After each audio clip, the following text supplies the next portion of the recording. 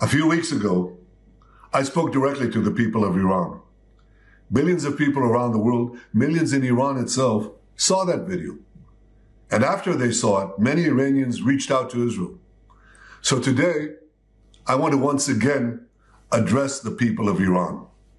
Since we last spoke, the Khamenei regime launched hundreds of ballistic missiles at my country, Israel. I wonder, did he tell you how much that attack cost?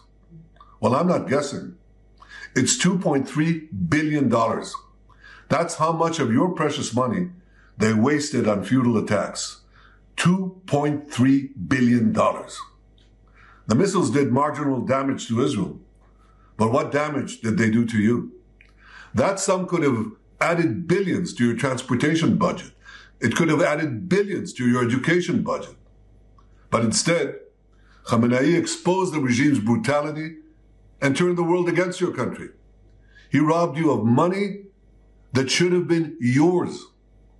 I want you to imagine, just imagine, how your life could be different if Iran was free.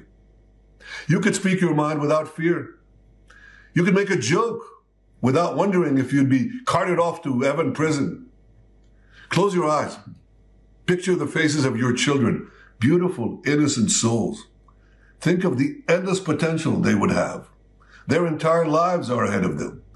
Imagine how your children's lives would look if billions of dollars were invested in them instead of being wasted on wars that can't be won. They would receive world-class education. You would receive beautiful roads, advanced hospitals, clean water. You know, Israel has the world's most advanced desalination system, and we'd be happy to help rebuild Iran's collapsing water infrastructure. These and so many other things are the things you could have. But that's what Khamenei's regime denies you every single day. They obsess about destroying Israel rather than about building Iran. What a shame. Another attack on Israel would simply cripple Iran's economy. It would rob you of many more billions of dollars. I know that you don't want this war. I don't want this war either. The people of Israel don't want this war. There is one force putting your family in grave danger. The tyrants of Tehran. That's it. But there's also good news. Every day, that regime gets weaker. Every day, Israel gets stronger. The world has seen but a fraction of our power. Yet there's one thing Khamenei's regime fears more than Israel. You know what it is? It's you, the people of Iran. That's why they spend so much time and money trying to crush your hopes and curb your dreams.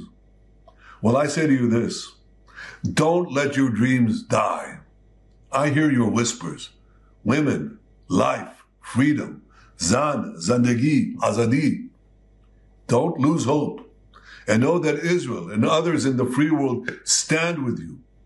The regime wants to destroy your future as they seek to destroy our state. Well, we won't let that happen.